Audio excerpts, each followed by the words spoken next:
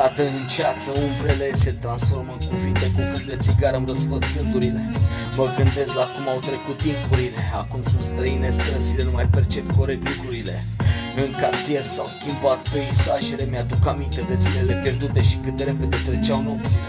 Pare totul pustiu, am de ce cunosc Nu, nu sunt, uh, nu sunt retardat, chiar dacă asta am lăsat impresia.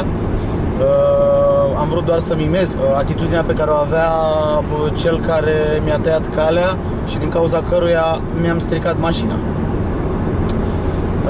Andrei Huțu sunt eu, nici uh, Cuțu, nici Puțu, ci Huțu. Și m-am gândit, uh, la fel ca uh, ceilalți vloggeri din România, să, atâta timp cât, cât eu consider că am ceva de spus, să încep să uh, fac și eu un vlog al meu primul episod, să zic așa, din acest vlog, episodul pilot, uh, este despre experiența pe care am avut-o acum aproape o săptămână, uh, atunci când uh, în Ploiești, pentru că de acolo sunt eu, mergeam regulamentar nu cred că aveam 50 la oră, mă duceam spre Pitești, mergeam pe banda de lângă axul drumului, când la un moment dat, de pe banda întâi, ce să vezi, un cetățean a tras brusc de volan în fața mea. Bineînțeles că mi-a dat planurile peste cap. Prima mea reacție, având-o și pe Diana în, în dreapta, Diana prietena mea, prima mea reacție a fost să-l întreb dracu te-a dus capul să faci stânga pentru că era fix într-o intersecție, să faci stânga după prima bandă. Ce a fost în căpuțul tău? Ce a, ce a fost? Refuz să mă, refuz să mă enervez, refuz să am o atitudine de asta colerică. De cele mai multe ori mă enervez atunci când mă joc pe calculator sau nu știu, mă enervez eu cu mine. Și e bine să nu fie nimeni în preajma mea că încep și urlu și eu sunt în lumea mea, practic. La care Diana a vrut să-l bată în principiu Diana s-a năpustit spre el și am zis că nu are rost chiar dacă în principiu știam ce va urma, servisuri, șpagă, ca să poată să-ți facă mașina mai repede. Uh, ideea este că reacția lui uh, a fost uh, cam așa. Moment în care am zis, bă, n-are rost să stau să ce, să urlu la el, să-l înjur, să, adică nu, nu, nici nu mi-e genul și nici nu cred că își avea rost o astfel de, de atitudine. Cert este că am sunat la poliție, nu știam exact uh, cum procedez, nu știam ce să fac, pentru că cred că au trecut ceva ani de când am avut o astfel de tamponare, tot din vina persoanei, uh, mă rog, uh, cu care era, am fost implicat și am sunat la poliție. Iar poliția mi-a spus, băi, dacă vă înțelegeți pe calea amiabilă, nu trebuie să mai nu trebuie să mai uh, venim noi, nu trebuie să mai vină niciun echipaj de poliție. Dacă vă înțelegeți, uh, faceți programare la uh, firma de asigurări, uh, apoi uh, în, în funcție de programarea pe care ați făcut-o, vă prezentați la biroul uh, firmei de asigurări, unde acolo este un specialist care verifică mașinile, vede exact care sunt daunele și așa mai departe.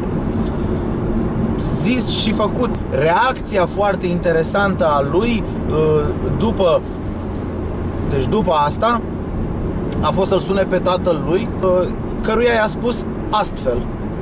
Tată, te rog frumos, vrei să vii în centru la Păltiniș că iar am făcut accident.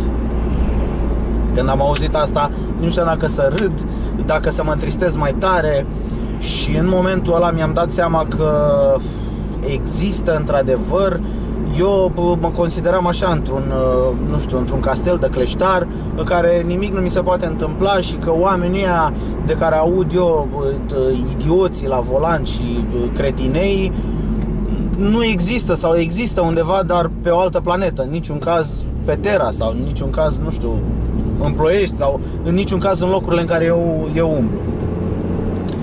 Și în momentul ăla mi-am dat seama că nu mai vreau să-mi cumpăr motocicletă. Asta că o dau dintr-una într-alta.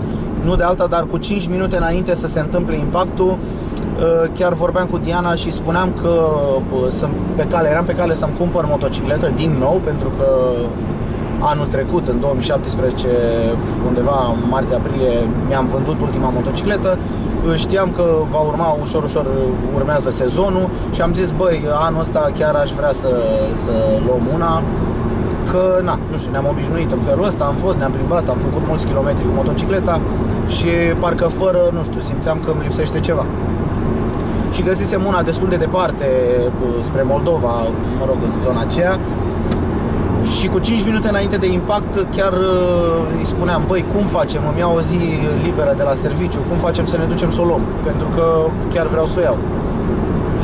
Și n-au trecut 5 minute, s-a întâmplat uh, ce s-a întâmplat și am zis uh, nu, nu, nu, nu mai, nu mai luăm motocicletă pentru că puteam să fim cu motocicleta.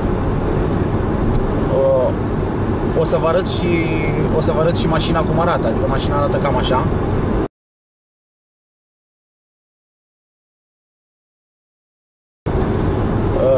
Asta înseamnă că uh, tamponarea aceea Uh, era resimțită de corpul meu, corpul uh, Dianei și așa mai departe. Deci asta înseamnă că în cel mai bun caz, în cel mai, cel mai bun scenariu, eram în comă sau ceva. În cel mai bun scenariu. Dar cred că muream. Adică, cred că muream, mai mult ca sigur.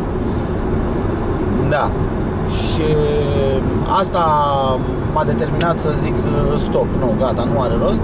Am ajuns la firma de, de asigurări, uh, omul de acolo s-a uitat așa puțin atent la, la persoana în cauză și a spus, da, tu ai mai trecut pe la noi, pe tine te știu. Asta a fost o a doua confirmare a faptului că omul chiar era un pericol pe străzi, chiar era un pericol pe străzi și am zis ok, la care s-a uitat la mine, s-a uitat la mine cel de la, de la asigurări și a spus nu te supăra, dar tu de ce n-ai chemat poliția încât să ia permisul, mă rog, și eventual să-i dea și amendă, dar să ia permisul pentru că este, o, este un pericol pe străzi? M-am uitat uh, fix în uh, ochii lui și am spus de prost. Pentru că până la urmă ăsta e adevărul, de prost cred că de prost nu am chemat poliția, de prost nu am luat măsurile necesare încât acea persoană să nu se mai urce la volan. Chiar și preț de, nu știu, 30 de zile sau în cel mai bun caz 90 de zile. Nu, sunt convins că nu a înțeles absolut nimic din ceea ce s-a întâmplat, dat fiind faptul că până și persoana de la uh, angajatul de la firma de asigurări îl cunoștea, asta m-a, m-a frapat și mai tare și mi-am dat seama că nu a înțeles nimic, nu a înțeles nimic nici tatălui. Sincer, eu am citit în ochii tatălui lui, bă, e fimiu, n-am ce să fac. Asta mi s-a părut mie, asta mi s-a părut din atitudinea pe care o avea tatălui. Bă, e fimiu, n-am ce să fac, ce vrei, să-l omor pe sistemul ăsta. N-am dezbătut foarte mult, n-am deschis foarte mult subiectul I-am spus că din punctul meu de vedere Este un pericol pe străzi Că dacă eram cu motocicleta puteam să mor Că mă omora, muream ca prostul Și eu și Diana și așa mai departe Dar Uh, nu cred că a înțeles nimic, tocmai pentru că după ce, mă rog, s-a făcut constatare, a făcut fișa de daună, uh, acum urmează să repar mașina. Uh, sunt convins că nu a înțeles nimic acea persoană pentru că după ce s-au terminat fișa de, de daună și așa mai departe, el s-a îndreptat spre mașină și s-a urcat la volan. Când am văzut că s-a urcat la volan, am zis da, e clar, nu are absolut nicio treabă atât el cât și taică Eu credeam că cel puțin, nu știu, măcar pentru câteva zile taică o să-l apostrofeze, o să zică, bă, ce ai făcut, ce nu știu ce, nu. S-a urcat din nou la volan, taică s-a urcat în dreapta și au plecat mai departe. Uh, e foarte trist, mai ales pentru faptul că era de vârstă cu mine. M-am uitat în buletinul lui când am completat fișele, partea A, datele mele, în partea B, datele lui pe fișa aceea de amiabilă. Uh, avea 33 de ani. Deci avea 33 de ani, era un om cu experiență de destui ani ale șofatului, în ale condusului. Și cu toate astea sunt convins și încă o dată îmi întărește încrederea faptului că există oameni care sunt făcuți pentru, pentru a șofa și sunt oameni care nu au absolut nicio treabă, chiar dacă au 100-200 de mii de kilometri la bord conduși. Sunt pur și simplu oameni care nu gândesc secunda, nu au secunda, cum ar spune un coleg de la sală atunci când jucăm fotbal, când pasează repede și nu ești pe fază. Bă, n-ai secunda. E, asta mi se pare că n-au ei, n-au secunda. Nu vei putea face atât persoane de sex feminin cât și persoane de sex masculin, adică nu cred că e o mare diferență. Oamenii aceia care nu sunt făcuți pentru așa ceva nu cred că vor fi niciodată. Asta este părerea mea, o susțin, mă puteți contrazice dacă simțiți contrariu.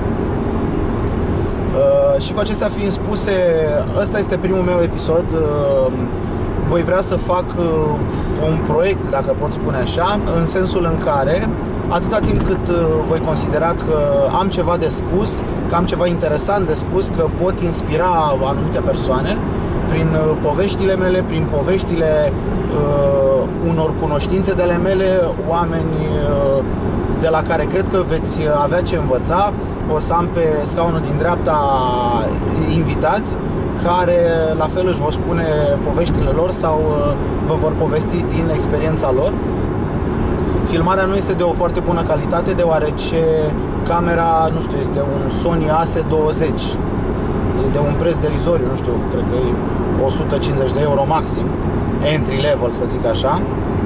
Nu am nici lavalieră, pentru că eu fac asta pur și simplu de hobby, nu mă aștept uh, la niciun venit.